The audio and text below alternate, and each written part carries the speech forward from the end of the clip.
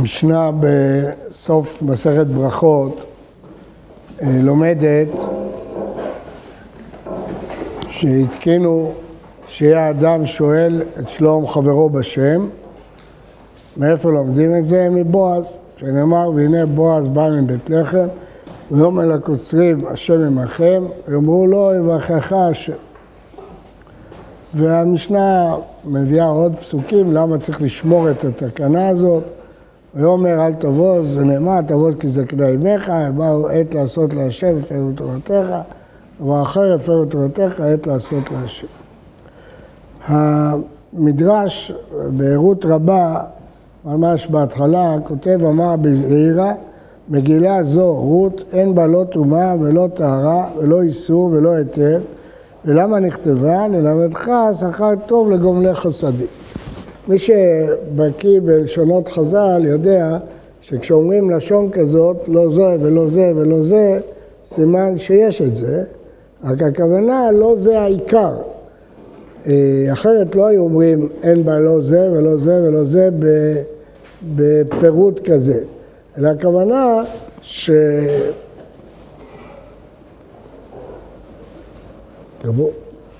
שלמרות שיש במגילה את כל הדברים הללו, אה, לא הם העיקר, אלא העיקר זה ללמד שכר של גובלי חסדים.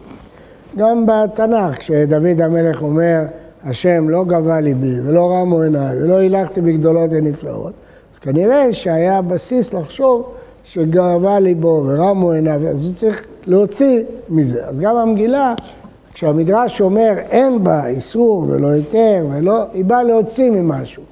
ובאמת, כל הדברים שנמנו במדרש הזה נמצאים במגילה ונלמדים ממנה.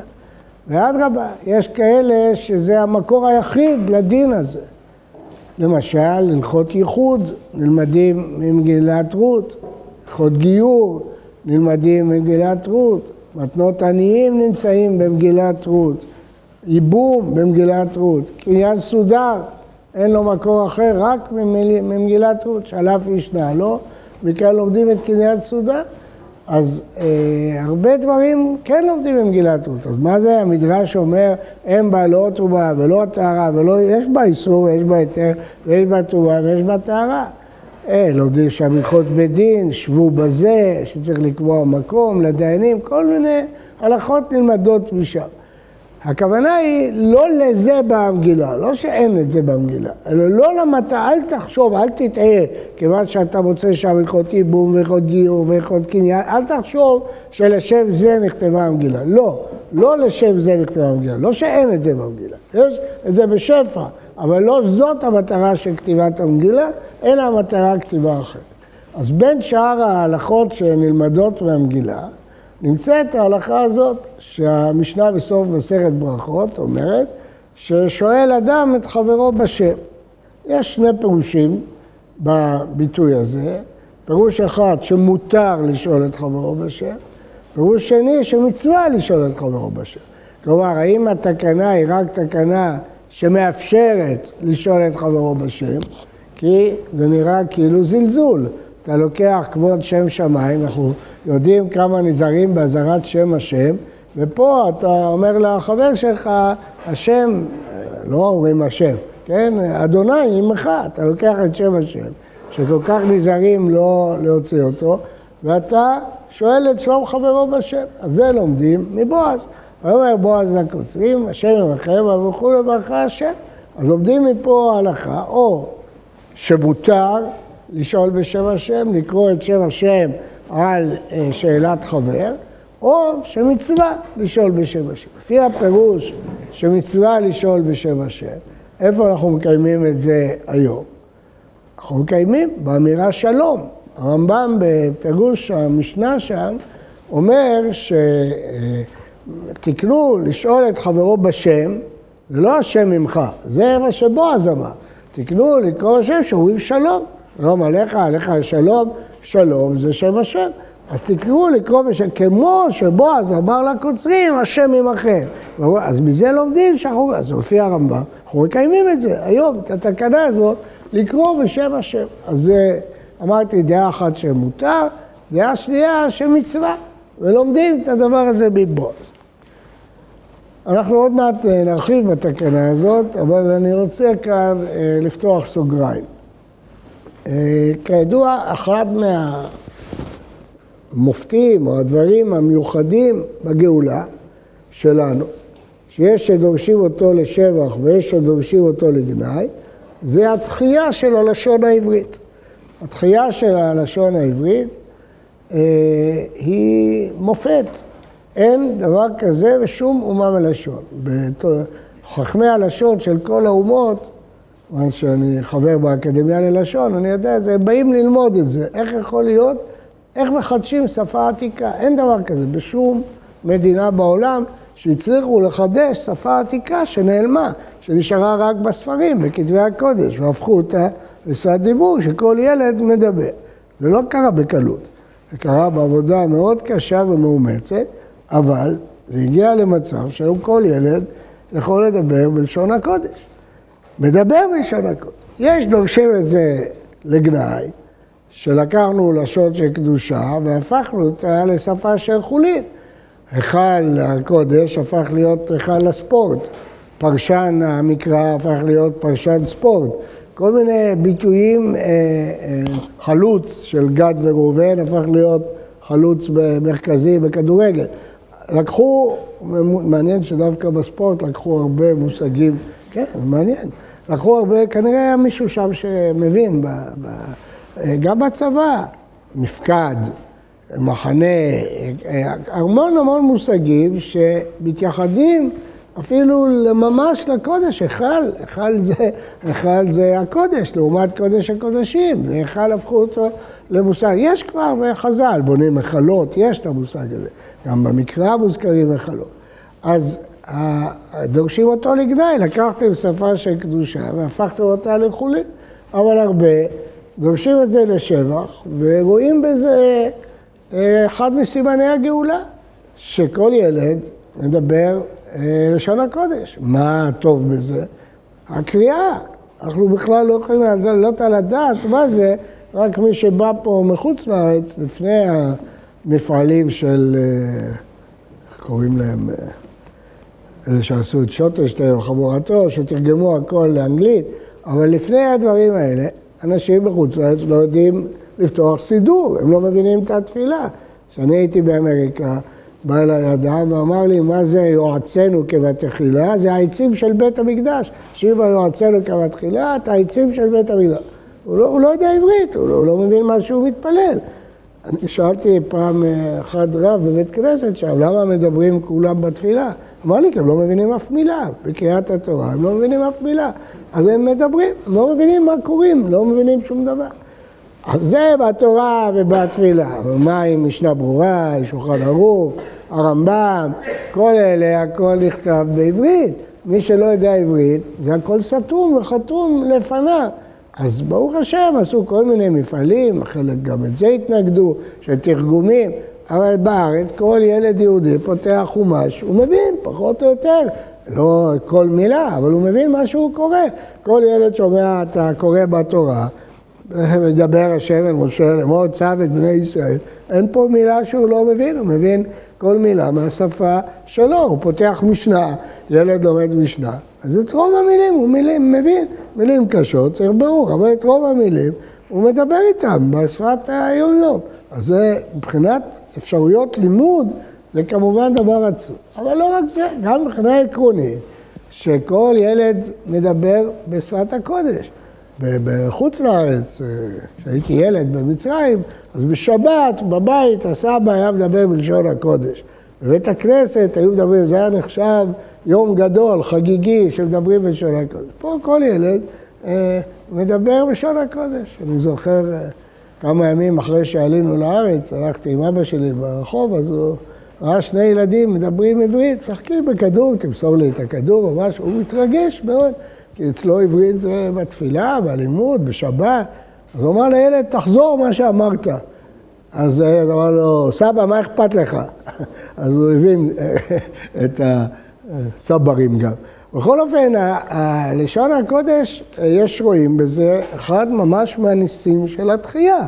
באופן טבעי קשה להבין איך עם שלם מחדש שפה עתיקה שנמצאת רק אה, בכתבים וכולם מדברים בה וזה הלשון שלהם. רואים בזה את אחד מסימני התחילה. אבל אה, דווקא בזה אני רוצה להעיר שהלשון היא, היא מאוד מאוד משמעותית. לשון היא הבעה אה, פנימית. ואביא דוגמה מאוד אה, בולטת, שהרציתי עליה באיזו הזדמנות. אה, פעם היו חותמים ביום שישי את כל הרעיונות ואת הכתבות ואת החדשות, שבת שלום. והיום, אתה תשמע, חותמים סוף שבוע נעים. בואו נשווה את שני הביטויים האלה, שבת שלום וסוף שבוע, נעים. זה לא בעיה לשונית, זה בעיה תרבותית עמוקה מאוד, רק הלשון מבטא את התרבות. אז בואו ניקח את שתי הדוגמאות האלה, כשאחד שעושה תוכנית ברדיו ביום שישי ונפרד מהמאזינים שלו, שבת, שלום, או סוף שבוע נעים. בואו נשווה את המילה שבת למילה סוף שבוע. כמה קדושה, כמה מסורת, כמה היסטוריה טמונה במילה שבת. מה יש בסוף שבוע? כלום, מילה ריקנית, סוף של השבוע. אצלנו השבת היא סוף של השבוע, היא הכותרת של השבוע, היא העטרת של השבוע. והמילה השנייה, סוף שבוע, נעים, הנעימות. מה אנחנו אומרים? שבת שלום. כמה יש במילה שלום, שהוא שמו של הקדוש ברוך הוא, שהוא מברך את עמו ישראל בשלום, וישם לך שלום. שלום זה האידיאל של, כל העולם. ובזה אנחנו מברכים, שבת שלום. פה אומרים סוף שבוע נעים. כלום, רוקנו את כל הביטוי הזה בתוכן. אה, אה, לא, לא, אה, לא, לא שמעו כלום. טוב, אני פעם הרציתי על זה באריכות, היה שם אה, איזה אחד, אה, סופר גדול בחוץ לארץ, שהיה בפאנל איתי וזה, והוא דיבר תשובה לדבריי, בסוף הוא אמר, סבת או אף על פי כן סוף שבוע נעים. טוב, אז התעקש לעמוד על שלו. אבל ההבדל התרבותי הוא מאוד מאוד חד ומאוד מאוד בולט, ואנחנו צריכים להיזהר. כי בהרבה דברים אנחנו נסחפים בלי לשים לב, בלי משים. וסוף שבוע נעים עוד לא שמעתי שחבר'ה שלנו השתמשו, אבל שמעתי יום טוב. יום טוב זה מושג, זה מסכת, יש מסכת יום טוב, זה, זה מושג בתורה, זה מושג בחכמים. אדם אומר לשני, יום טוב. מה זה יום טוב? זה, זה לא חול המועד ולא יום טוב, זה, זה יום חול. תגיד לו, שמה תגיד לו יום נעים אם אתה רוצה. מה זה יום טוב? יום טוב זה מושג אה, בקדושה, ושמעתי הרבה משתמשים בו. אז לפעמים אנחנו לא שמים לב למשמעות. ואם תגידו, אין, מה זה משנה, אמר שבת שלום, אמר סוף שבוע נעים. זה לא נכון. הלשון מבטאת תרבות, וזה לא שהלשון משתנה, זה שהתרבות משתנה. השבת הופכת לסוף שבוע, זה לא שהביטוי הלשוני השתנה. הביטוי הלשוני הוא רק מבטא את השינוי הפנימי שחל. נחזור לענייננו. המילה שלום, אה, אומר הרמב"ם, היא התקנה. היא התקנה שתקנו חכמים בעקבות בועז, להגיד שלום. כשאתה פוגש את השני ואומר לו שלום, אתה לא רק נותן לו את כל התוכן הפנימי של המילה שלום, מברך אותו בשם השם. אתה מברך את האדם בשם השם. זה תוכן הפנימי של המילה שלום. בועז בא לקוצרים, ומה הוא אומר להם? איך הוא מברך אותם? לא עבודה נעימה, בתיאבון, מילים כאלה שדופות וסתומות. גם המילה בתיאבון היא קצת שדופה. כן? אז אנחנו, הוא אומר להם, השם עמכם. והם עונים לו, הם גם איתו, יברכך השם. עונים, משתפים שם שמיים איתם. האם זה פשוט? לא. צריך היתר לזה. מאיפה אנחנו יודעים? מהגמרא במכות. הגמרא במכות אומרת, נקרא את זה, הגמרא במכות אומרת ששלושה דברים התקינו חכמים, ואמר בשוע בן לוי, דף כ"ג, שלושה דברים עשו בדין של מטה, והסכימו בדין של מעלה על ידם. אחת מהן זה שאלת שלום בשם. היה לנו אה, הסכמה, הסכמה משמיים שאתה, מאיפה יודעים? וכתוב, השם עמך גיבור החיל. המשנה בברכות מביאה את זה. ומניין שהסכימו, השם עמך גיבור החיל, השם אמר את זה. אז רואים שהסכימו איתו, להגיד השם עמכם, אבל בועז חידש את זה. מה החידוש הזה? זה לא חידוש פשוט. לקרוא בשם השם, עד כדי כך שהגבוהה בברכות רואה עת לעשות להשם הפרו תורתך. יש בזה במובן מסוים הפרה של התורה, שנזהרת כל כך בשמו של הקדוש ברוך הוא. להיזהר בהזכרת השם, הרמב"ם מחמיר מאוד מאוד בהזכרת שם שמיים. והנה פה, סתם בשיחת חברים, אנחנו אומרים את שם השם כמה פעמים ביום, שלום, שלום עליך, שלום וברכה, שלום עליכם, וכן הלאה, אנחנו מזכירים את שם השם, זה היתר מיוחד. ולמה היתר? עת לעשות להשם. מה היה עת לעשות להשם? זו תקופת שפוט השופטים. הגמרא קוראת לתקופה הזאת בביטויים מאוד מאוד חריפים. בבבא בתרא אומר אה, רבי אליעזר, נאמר, הן אתם כולכם חזיתם, ולמה זה הבל תאבלו, הפסוק באיוב. איזה הוא דור שכולו הבל. הווה אומר, זה דורו של שפוט השופטים. חכמים פה פוסקים פסק חריף מאוד על תקופת השופטים, שכולו הבל, לא השאירו שום דבר בעם ישראל, כולו הבל. כמובן, בגלל פילגש בגבעה, אין ספק שזה זאת הסיבה, אם יכלו לעשות מעשה נורא, זוועתי כזה, ובעם ישראל, זה סימן שהמצב היה מאוד מאוד חמור. הפסוק מעיד, איש הישר בעיניו יעשה. איש הישר בעיניו. אבל הביטוי הזה של חז"ל, כולו אבל. יכול להיות שזה הכוונה עת לעשות להשם הפרו תורתך, שמעתי את זה מהרב טוביה ליפשיץ, משגיח בישיבת הכותל, אני חושב שהוא צודק. שזה עת לעשות להשם. הוא ראה שהתקופה אבל, אז הוא רצה להכניס שם שמיים, רצה להכניס שם שמיים ב, ב, בתקופה שהיא כולה הבל. והנה מצינו אה, שני ביטויים יפים מאוד ושונים, במפתיע, שונים, של הרב קוק, הראייה ושל בנו, הרב צבי יהודה קוק. שניהם מתייחסים ושניהם אומרים דברים שונים. אז בואו נראה את ה... פסקה מהרב קוק, אחר כך נראה את הפסקה מהרב צבי יהודה קוק. הרב קוק כותב בעין אייה על ברכות. נקרא את ה... הנה הדבר מתחיל בתחילת השאלות של החברה האנושית. איך לתקן את מצבה. דבר ידוע הוא ששאלת פועלים ועובדים היא שאלה שאם תתנהג בלא סדרי יושר, תהיה מהסיבות היותר חזקות של אירוס השלום. האנושי. נשיא ישראל ובעל בעמיו לא התייחס פעם עם הקוצרים, הפועלים הפשוטים. אבל פה הוא לא התייחס אליהם כאיש רם בנעלה, ביחס אל שפל ובזוי, אשר לא יפנה אליו כי אם בגזירת מושל, נרפים אתם, עצלים, עבדו בחריצות. זה היה ראוי להימצא אצל עריצי הגויים, אשר לא ידעו את השם. אומנם בועז אמר לקוצרים, השם עמכם, שם השם נקרא עליו, ודעת רחב שהיה חפץ. היא הביאתו לידי המידה המפוארה הזאת לומר באהבה לקוצרים, השם עמכם. והם חיו כל כך באהבה עמו, שמצאו עצמם מאושרים עד שאמרו לו יברך השם. כי ידעו כי בתוספת ברכתו להם שלום וברכה. ובכן, אגב, הרב הקפיד את המילה שלום לכתוב בלי המם האחרונה, כי זה שמו של השם. אז הרב מתאר פה אין ספק שזה בעקבות תקופתו, הקומוניזם, שהתחיל מה, מה, מהמרד של הפועלים כלפי העריצים. כל בעלי האחוזות והעריצים בכל העולם אגב, אבל ברוסיה במיוחד, אבל בכל העולם.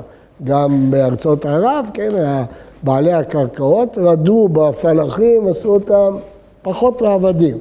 היו שפלים, עובדי אדמה, הפלאחים נחשבו הכי שפלים והכי בזויים.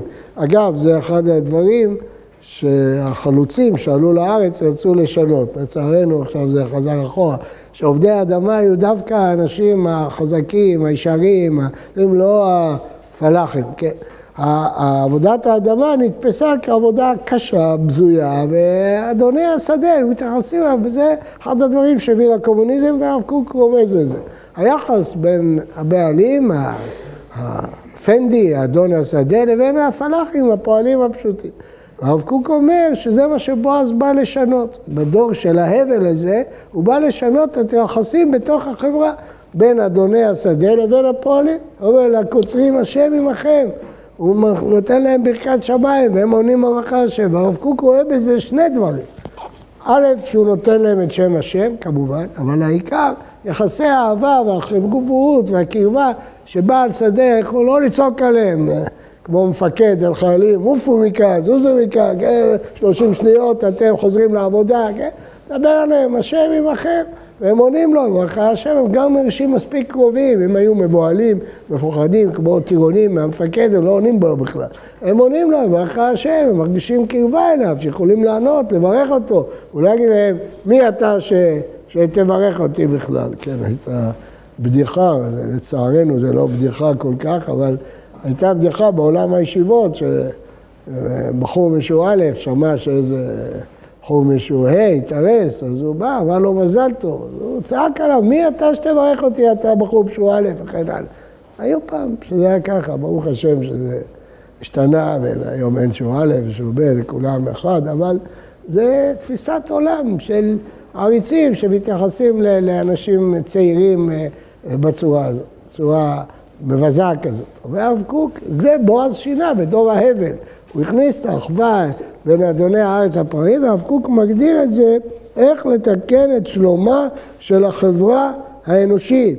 כי היחס לפועלים בלא סדרי יושר תהיה מהסיבות היותר חזקות של אירוס השלום האנושי. זה הרב קוק. הרב צבי יהודה התייחס לאותו דבר, אבל בצורה אה, שונה קצת.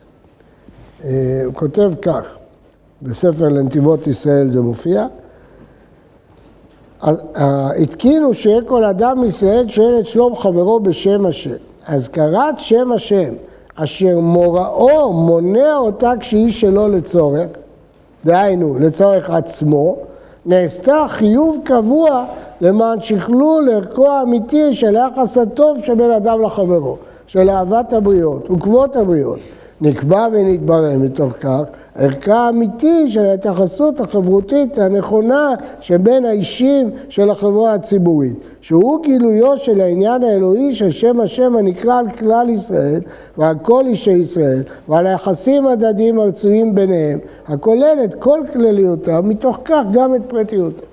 והרב קוק, הרב צבי יהודה רואה פה, לא רק כמו שהרב קוק אה, ציין את היחס בין מעביד לעובדים, איך צריך להיות היחס בין אדוני הארץ לפועלים הפשוטים, אלא איך זה יכול להיות שאנחנו כל כך נזכרים, נזהרים לא להזכיר את שם השם, כן, אני מניח שכולכם זוכרים את הדברים של הרב קוק, שאומר שכואב לו שהוא לא יכול לבטא את שם הוויה.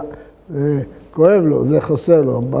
הרב ישראל זלמן מלצר, כשניחם את הרב צבי יהודה, פטירת הרב קוק, אמר לו, יש גדולי ישראל שיש להם דאגות אחרות, כאבים אחרים. כן, הרב קוק, מה כואב לו? שהוא לא יכול להזכיר את שם השם, לא יכול להזכיר שם הוויה. זה כל כך, רואים באיזה עולמות הוא היה שרוש, זה היה חסר לו, שהוא לא יכול להזכיר את שם הוויה כפי שהוא. אז הוא אומר פה, הרב קוק, הרב ציודה, ככה אנחנו נזהרים בזה, והנה פה אדם פוגש חבר, אומר לו, שלום, שם השם. השם עמך, אנחנו כותבים שלום, הרב קוק לא כותב את זה במלואה באות האחרון. אנחנו אומרים שלום, שלום עליך, שלום עליכם. למה? כי היחס החברתי הוא כל כך נעלה ויקר וחשוב ששווה בשבילו להגיד את שם השם. אומר הרב ציוד הזה, מראה מה החשיבות של אמירת שלום, מה החשיבות של החברה, של היחסים החברתיים, להקדים שלום לכל אדם, ואפילו לנוכרי בשוק, אומרת הגמרא. אפילו לנוכרי בשוק. להקדים שלום. למה? יחסים חברתיים, יחסים אנושיים בין בני אדם. היחסים האנושיים בין בני אדם כל כך יקרים, שאנחנו אומרים להם שלום בשם השם. השם עמך, שלום, שם השם. למה? כדי להראות כמה חשובים יחסי החברה. הם אלה שבונים את הכלל. הכלל, שם השם נמצא עליו. אבל כדי לבנות את הכלל, אתה צריך את היחסים החברתיים. אנחנו יודעים מה קרה בימים האלה, תלמידי רבי עקיבא שלא נהגו כבוד זה בזה. אמירת שלום היא היחסים החברתיים שבונה את החברה. אומר הרב יהודה, לכן הותר לקרוא על זה שם שמיים. ולפי דעה שנייה, מצווה לברך בשם השם. מצווה לקרוא על זה שם שמיים. לכן, כשאדם פוגש את חברו ואומר לו שלום, לא יגיד לו בוקר טוב, ערב טוב. זה לקוח מלשונות זרות. שוב מתרבות זרה. זה לא שלום, זאת המילה. שלום עליכם, שלום עליך, ברכת שלום עליך. שלום זה שם השם, אתה מזכיר עליו את שם השם, זה הדבר הגדול. בוקר טוב אומרים רק לפני התפילה. כיוון שאי אפשר להזכיר את אה, שם השם על בן אדם לפני מזכירים את שם השם בתפילה. אז אם אדם הולך לפתחו של, מישהו לפני התפילה, הוא לא יכול להגיד לו שלום וצפרה טובה, בוקר טוב, ערב טוב, לא יכול להגיד שלום, עוד לא התפללתי. אחרי שאדם מתפלל, אז כשהוא פוגש את השני, לא יגיד לו בוקר טוב. זה לא שלום, השלום היא הברכה האמיתית, ויש לזה משמעות, זה לא חסר משמעות. יש משמעות למילים שאתה משתמש, אם זה סוף שבוע או שבת, או נעים או שלום, יש משמעות. השלום הוא שם השם, וכשאתה משתמש בו בקשרים חברתיים, אתה מטיל את שם השם על החברה, ויש לזה, לדבר הזה משמעות גדולה ביותר, כפי שראינו עכשיו, ולכן זה מותר וגם מצווה לברך את הזולת בשם השם בשם שלום. בחסידות, אה, כדרכם, קצת, אה, הם אוהבים לדרוש משינוי הקריאה. אז אה, יש בתפארת שלמה שהוא קורא את זה, לשאול את חברו בשם. הוא אומר, כשאתה שואל בשם, תשאל על החבר שלך. כלומר, אתה מתפלל להשם, שואל את חברו, תדאג לחבר שלך, תשאל את החבר שלך. זו דרשה יפה. אבל גם היא מעלה על נס ועל החשיבות את אה, שאלת השלום כיחסים החברותיים בין איש לרעהו. היחסים החברותיים לא מתחילים באהבות ובמחוות כאלה ואחרות, אלא במילה אחת, במילה שלום. כשאדם מתחיל במילה שלום, זה הקשר הטוב ביותר. למה? למה אני אומר את זה? כי זה שם השם. כי הטלת עכשיו את שם השם ביניכם, בינך לבין חברך, הטלת את שם השם. כשאמרת שלום, הטלת את שם שלום עליך רבי ומורי. כל הגמרא מלאה על זה. שלום עליך, פגע בידם אחד, אמר לך שלום עליך רבי ומורי. שלום עליך, שלום, שם השם יהיה עליך. יברכך השם, אתה מברך אותו בברכה. היה עד לפני כמה זמן, אה, קהילות צפון אפריקה, כשהיו עולים לתורה, היו מתחילים, השם עמכם. אני היום פחות שומע את זה, כשהייתי ילד, עם שם השם. היו אומרים, אדוני עמכם. ככה היו אומרים כשהיו עולים אה, לתורה. היום לא שמעתי את זה הרבה, ואם שמעתי זה בלי, זה בכינוי, השם עמכם. כן, אבל זה גם, שוב, אותו ביטוי. אבל זה בקריאת התורה. אנחנו, החידוש של בועז, שזה בפגישה אקראית עם הקוצרים, בועז בא לבית לב, אומר לקוצרים, בשדה, השם עמכם, אל הפועלים שלו, שם השם יהיה עמכם. האדם פוגש את חברו בדרך, אומר לו שלום, לא אומר לו בוקר טוב או ערב טוב או סוף שבוע או נעים.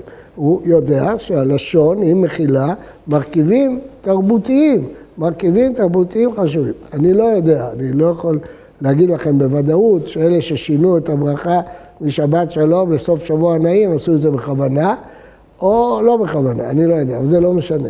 כי גם בלא בכוונה זה בתת הכרה, תת הכרה, מה זה שבת שלום? זה ברכה דתית. כן? סוף שבוע נעים זה ברכה, אני מניח שזה בא מאנגלית או מאיזושהי שפה זרה. אבל, אבל לא, לא יודע אם בכוונה, לא, לא צריך לחשוד בהם שעשו את זה בכוונה. אבל זה מין שינוי שחל בתרבות, והשינוי בתרבות קודם כל מתבטא בלשון. הלשון הוא הראי של התרבות. וכשעכשיו צריך לדעת, אז תשאלו, אז מה אני יכול לעשות? זה גם הפיך, גם הלשון משפיעה על התרבות. כמו שהתרבות משפיעה על הלשון, הלשון משפיעה על התרבות. אם אתה משתמש בלשון שלך בביטויים של שלום, אתה מכניס את התרבות היהודית לעולם. אז כשאתה נפגש עם חבר שלך, במקום להגיד לו היי, ביי, אתה אומר לו שלום, אז אתה בעצם מכניס אותו לעולם היהודי, אתה מכניס אותו לתרבות. כשאתה אומר לו היי, אתה לא אומר כלום, דברים בטלים. אבל כשאתה אומר לו שלום, אתה מכניס אותו לשם השם. אתה מכניס אותו גם בלי שם השם. המושג שלום, אחד המושגים הכי חשובים בתנ"ך, בחז"ל, בכל מקום, בעולם, שלום. אז, אז דווקא את המילה הזאת להשמיט ולמחוק ולהחליף אותה בכל מיני העברות שאני לא יודע מה המשמעות שלהן, היי או ביי, או לפעמים עם משמעות, לפעמים חסרות פשר, סתם, זה דברים סתמיים שלא נותנים שום דבר. ואילו המילה שלום, ואיפה לומדים? זה מגילת רות. אז מגילת רות אין בה טומאה וטהרה ואיסור והיתר, אבל לומדים ממנה דברים רבים. ובין השאר למדנו את החידוש הזה בתקופת שבות השופטים, שכולה הבל, כולה מעבילה, שכל כולה הבל, חידש בועז חידוש גדול, להכניס שם שמיים, לקרוא שם שמיים על, אה, על הפעולות.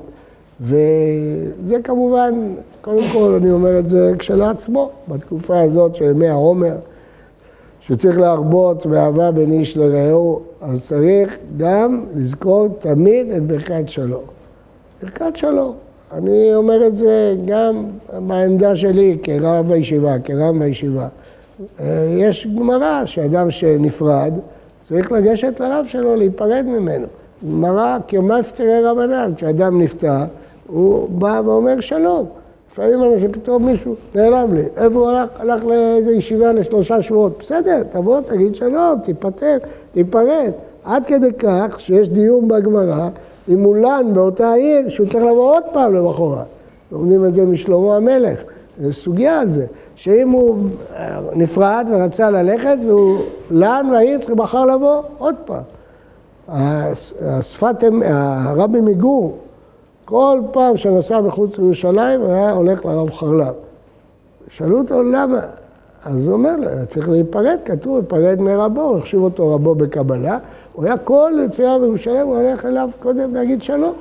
אמירת שלום, אז גם בישיבה צריך לדעת, לבוא, אנחנו לא רבנים כאלה, רבנים קטנים, לא חשוב, אבל אדם, זה הרב שלו, למד ממנו תורה, אתה הולך, תבוא תגיד שלום, אתה בא מהצבא, אתה בא מהבית, תבוא תגיד שלום, תברך, תברך בברכת שלום, שלום עליך רבי ומורי, זה הברכה שכתובה בחז"ל.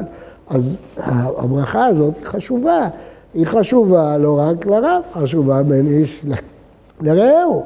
נפגשים אנשים אחרי זמן, אז הוא יכול אה, להגיד לו כל מיני ביטויים, הוא יכול להגיד לו שלום, שלום עליך. הביטוי משפיע על ה... אז לכן אני אומר, קודם כל, מצד הימים האלה, הרבות אהבה ואחווה וקרבה בין איש לרעהו. ב', ומצד התרבות, לשים לב לתרבות שלנו, לא להיסחף מהר אחרי תרבויות זרות. לא אומר שלא נכנסים מיל... מילים זרות לשפה, נכנסות. המון מילים בתלמוד הן פרסיות, המון מילים במשנה הן יווניות, אפילו סנהדרין היא מילה יוונית, יש הרבה מילים יווניות. נכנסות לשפה מילים, אבל התרבות מובעת בשפה. וכשאתה משנה ביטויים תרבותיים לביטויים ריקים מתוכן, או לביטויים ששאולים משפה זרה, אתה משנה גם את התרבות. ולהפך, כשאתה חוזר לביטויים מהמשנה, מהתלמוד, מהתורה, אתה מחזיר את התרבות היהודית, כן? האין אחד שמדבר עברית לא יכול להשתחרר מהתרבות היהודית. הוא לא יכול אני מניח שמי שאומר פרשן הספורט, הוא לא, לא חושב על פרש, פרשן רש"י ואבן עזרא והרשב"ם, הוא בכלל לא חושב, נכון. אבל יש הרבה דברים שאין לו ברירה.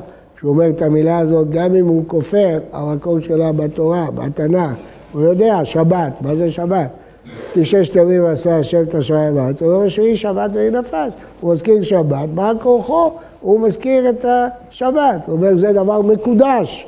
החוקים במדינה דבר מקודש. מקודש זה הקדש, זה בית המקדש, מקודש, אין לו ברירה, הוא לא יכול להימלט. השפה כובלת אותו בכבלים של התרבות. ואנחנו לא צריכים לשתף פעולה עם ניסיונות לברוח מהתרבות באמצעות בריחה ממילים בשפה והחלפה שלהם במילים שדופות, קדים. המילה הזאת של שלום צריכה לחזור, וצריך לחזור כשנפרדים בערב שבת, להיפרד בברכת שבת שלום. זאת הברכה של, של כניסת השבת, שבת שלום, באים הביתה שלום עליכם מלאכי השלום, זו הברכה שאנחנו מברכים כל ליל שבת כשבאים הביתה.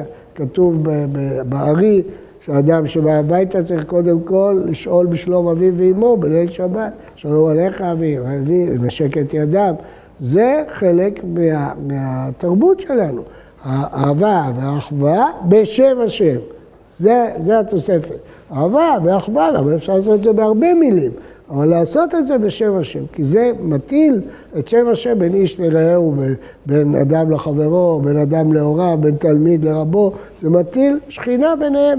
שהוא אומר לו שלום עליך רבי ומורי, או שלום תלמידי, או שלום עליכם, זה מכניס את שם שמיים ביניהם. ובימים האלה, שבין פסח לעצרת, חשבתי שמן הראוי לחזור ולהזכיר את מה שלמדנו ממגילת רות.